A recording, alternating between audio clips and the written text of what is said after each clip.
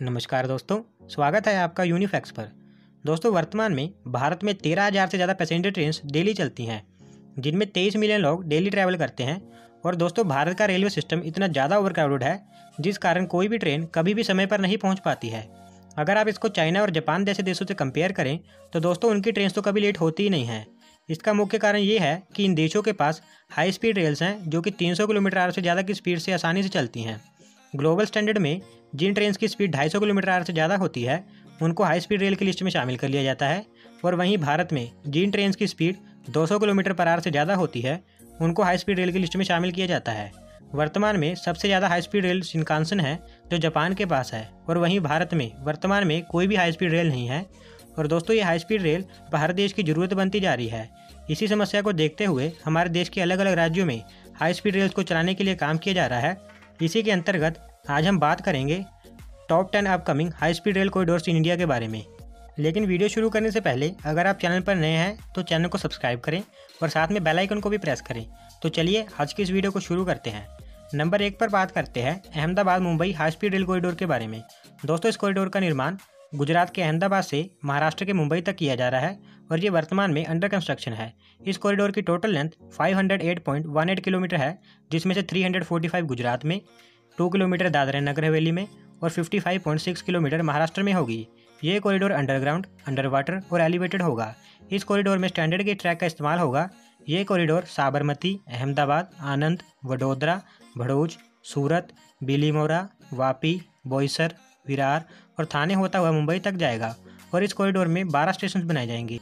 इस कॉरिडोर में ट्रेन के रखरखाव के लिए तीन डिपोर्ट्स बनाए जाएँगे, जिसमें से एक साबरमती में, एक वडोदरा में और एक मुंबई के बांद्रा कुर्ला कॉम्प्लेक्स में होगा।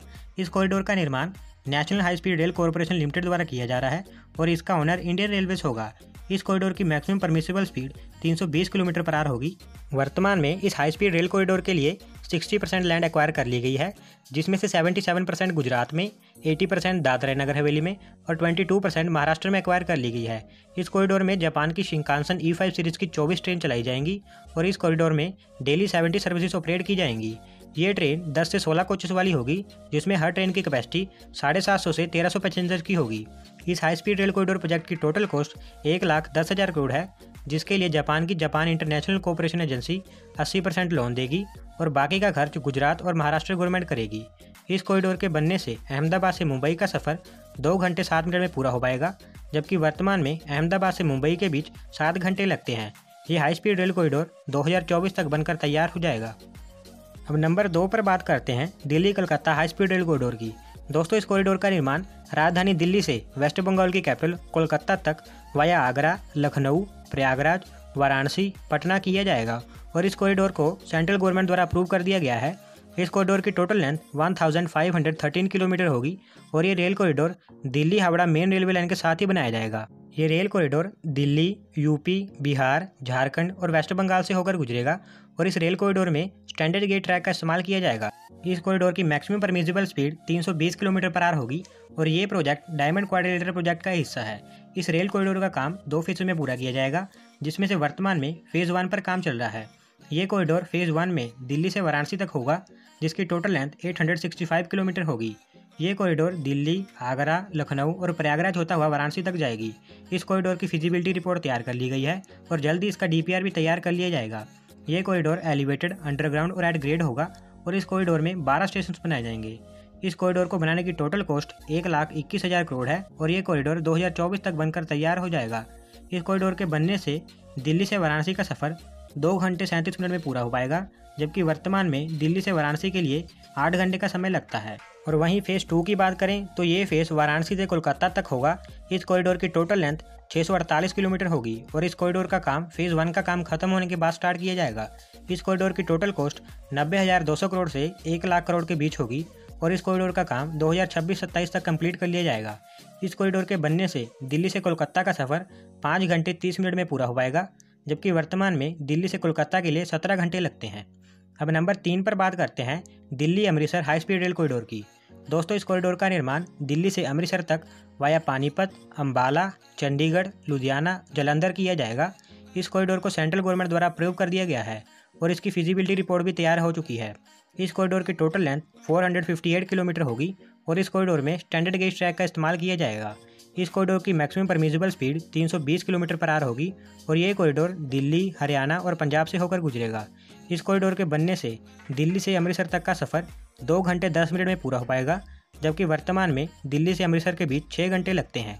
इस रेल कॉरिडोर को बनाने की टोटल कॉस्ट पैंतालीस हज़ार आठ सौ करोड़ से लेकर चौंसठ हज़ार एक सौ बीस करोड़ तक होगी और इस कॉरिडोर का काम 2026 तक कंप्लीट कर लिया जाएगा। अब नंबर चार पर बात करते हैं Mumbai Nagpur high speed rail corridor के बारे में। दोस्तों, इस कॉरिडोर का निर्माण मुंबई से नागपुर तक वाया औरंगाबाद और कौला किया जाएगा और इस कॉरिडोर को सेंट्रल गवर्नमेंट द्वारा अप्रूव किया जा चुका है। इस कॉरिडोर की टोटल लेंथ 753 किलोमीटर होगी और इस कॉरिडोर में स्टैंडेज गेज ट्रैक का इस्तेमाल किया जाएगा। ये corridor Mumbai Nagpur super expressway के पैरेलल ही बनाया जाएगा और इस कॉरिडोर की फिजिबिलिटी रिपोर्ट भी तैयार हो गई है। ये कॉरिडोर पूरा ग्राउंड लेवल पर ही होगा और इसकी maximum permissible speed 320 kilometre per hour होगी। इस कॉरिडोर के बनने के बाद इस कॉरिडोर का नाम समृद्धि कॉरिडोर रखा जाएगा। इस कॉरिडोर के बनने से मुंबई से नागपुर का सफ़र सिर्फ़ तीन घंटे में पूरा हो पाएगा, जबकि वर्तमान में मुंबई से नागपुर के बीच 11 घंटे का समय लगता है। इस कॉरिडोर को बनाने की टोटल कॉस्ट पचहत्तर हज़ार तीन सौ करोड़ से एक लाख पाँच हज़ार करोड़ तक होगी और ये कॉरिडोर दो हज़ार छब्बीस सत्ताईस तक बनकर तैयार हो जाएगा। अब नंबर पाँच पर बात करते हैं Chennai Mysuru high speed rail corridor के बारे में। दोस्तों, इस कॉरिडोर का निर्माण चेन्नई से मैसूरू तक वाया वेलोर बेंगलोर किया जाएगा। इस कॉरिडोर को सेंट्रल गवर्नमेंट द्वारा अप्रूव किया जा चुका है। इस कॉरिडोर की टोटल लेंथ 435 किलोमीटर होगी और इस कॉरिडोर की फिजिबिलिटी रिपोर्ट भी तैयार कर ली गई है और अभी इसका डीपीआर अंडर प्लानिंग है। ये रेल कॉरिडोर 85 परसेंट एलिवेटेड ग्यारह परसेंट अंडरग्राउंड और चार परसेंट एड ग्रेड होगा। इस कॉरिडोर में स्टैंडर्ड गेज ट्रैक का इस्तेमाल किया जाएगा और इसकी maximum permissible speed 320 kilometre per hour होगी। इस कॉरिडोर के बनने से, चेन्नई से मैसूरू का सफ़र एक घंटे पच्चीस मिनट में पूरा हो पाएगा, जबकि वर्तमान में चेन्नई से मैसूरू के बीच दो घंटे पच्चीस मिनट लगते हैं। इसके अलावा बैंगलोर से मैसूरू का सफ़र भी सिर्फ़ 40 मिनट में ही पूरा हो पाएगा। इस कॉरिडोर को बनाने की टोटल कॉस्ट तिरालीस हज़ार पाँच सौ करोड़ से इकसठ हज़ार करोड़ के बीच होगी और ये कॉरिडोर दो हज़ार सत्ताईस अट्ठाईस तक बनकर तैयार हो जाएगा। अब नंबर सिक्स पर बात करते हैं Delhi Ahmedabad high speed rail corridor की। दोस्तों, इस कॉरिडोर का निर्माण दिल्ली से अहमदाबाद तक वाया अलवर, जयपुर, उदयपुर किया जाएगा। ये प्रोजेक्ट डायमंड क्वाड्रिलेटर प्रोजेक्ट का हिस्सा है। इस कॉरिडोर की टोटल लेंथ 886 किलोमीटर होगी और इसे सेंट्रल गवर्नमेंट द्वारा अप्रूव किया जा चुका है। ये रेल कॉरिडोर दिल्ली, राजस्थान और गुजरात से होकर गुजरेगा और इस कॉरिडोर में स्टैंडर्ड गेज ट्रैक का इस्तेमाल किया जाएगा। इस रेल कॉरिडोर का डीपीआर तैयार करने के लिए टेंडर रिवाइड किया जा चुका है और जल्दी इसका डीपीआर भी तैयार कर लिया जाएगा। इस रेल कॉरिडोर की maximum permissible speed 320 kilometre per hour होगी। इस रेल कॉरिडोर के बनने से दिल्ली से अहमदाबाद का सफ़र साढ़े तीन घंटे में पूरा हो पाएगा, जबकि वर्तमान में दिल्ली से अहमदाबाद के बीच तेरह घंटे से ज़्यादा का समय लगता है। इस रेल कॉरिडोर को बनाने की टोटल कॉस्ट अट्ठासी हज़ार छः सौ करोड़ से एक लाख चौबीस हज़ार करोड़ तक होगी और ये कॉरिडोर दो हज़ार छब्बीस सत्ताईस तक बनकर तैयार हो जाएगा। अब नंबर सात पर बात करते हैं Mumbai Hyderabad high speed rail corridor के बारे में। दोस्तों, इस कॉरिडोर का निर्माण मुंबई से हैदराबाद तक वाया पुणे, सोलापुर किया जाएगा। इस कॉरिडोर की टोटल लेंथ 711 किलोमीटर होगी और इसको सेंट्रल गवर्नमेंट द्वारा प्रयोग किया जा चुका है। ये रेल कॉरिडोर महाराष्ट्र और तेलंगाना से होकर गुजरेगा और अभी इसका डीपीआर तैयार नहीं हुआ है। इस रेल कॉरिडोर में स्टैंडेज गेज ट्रैक का इस्तेमाल किया जाएगा और इसकी maximum permissible speed 320 kilometre per hour होगी। इस कॉरिडोर के बनने से मुंबई से हैदराबाद का सफ़र सिर्फ़ तीन घंटे में पूरा हो पाएगा, जबकि वर्तमान में मुंबई से हैदराबाद के बीच 12 घंटे का समय लगता है। इस रेल कॉरिडोर को बनाने की टोटल कॉस्ट इकहत्तर हज़ार एक सौ करोड़ से निन्यानवे हज़ार पाँच सौ चालीस करोड़ के बीच होगी और ये रेल कॉरिडोर दो हज़ार सत्ताईस अट्ठाईस तक बनकर तैयार हो जाएगा। अब नंबर एट पर बात करते हैं Chennai Hyderabad high speed rail corridor के बारे में। दोस्तों, इस कॉरिडोर का निर्माण चेन्नई से हैदराबाद तक वाया नेलोर ओंगोल, गुंटूर, विजयवाड़ा किया जाएगा।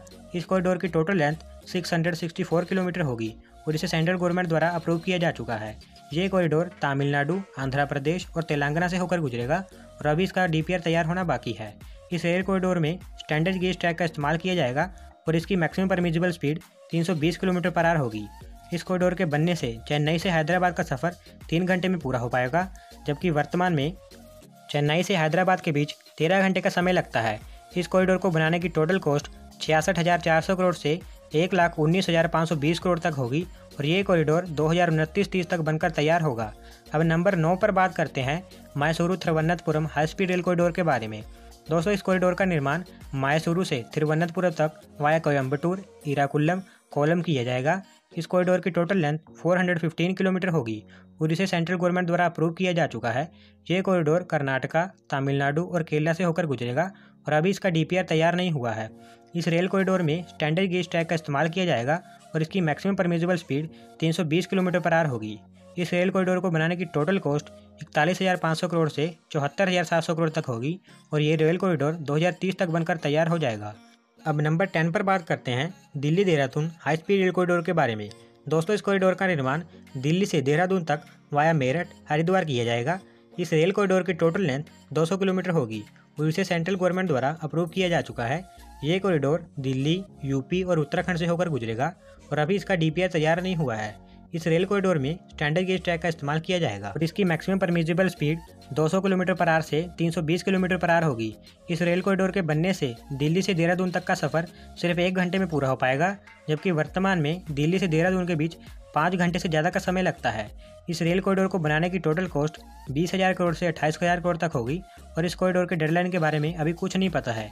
जैसे कोई अपडेट आता है तो मैं आपको अपनी वीडियो के माध्यम से ज़रूर दे दूँगा। तो दोस्तों, ये थे हमारे देश में बनने वाले top ten upcoming bullet train corridors. और आज की वीडियो में बस इतना ही। अगर वीडियो पसंद आई हो तो वीडियो को लाइक करें और चैनल को सब्सक्राइब करें। धन्यवाद आपका वीडियो को देखने के लिए।